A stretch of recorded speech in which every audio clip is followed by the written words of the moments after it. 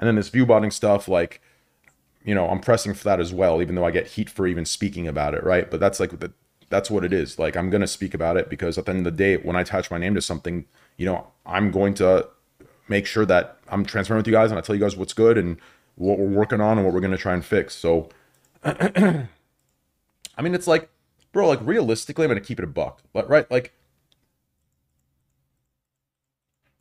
If this dude view botted two to three K viewers, I might just say fuck it. I don't give a fuck. But when you're view botting 15 to 20 fucking thousand viewers a day to push predatory gambling styles to the top, I don't like that. So I'm gonna actively push to, uh, uh, uh, uh you know, uh, uh, find a fix for that as soon as possible. Especially since my name is attached to it, and since I'm, you know, pretty much at the at this moment the face of it.